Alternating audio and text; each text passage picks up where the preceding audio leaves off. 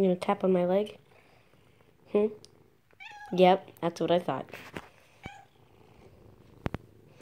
Yep, that's all I gotta do. I just put my hand out and you jump into it.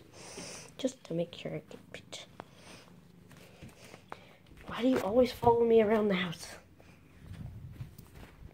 You're the Grim Reaper. You should you shouldn't be this cuddly. Reaper. Why? You should be the least cuddly because your name is Grim Reaper. For sure, Reaper.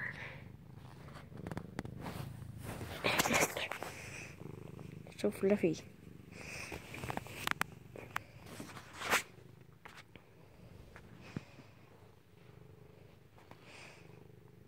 Hmm. Really?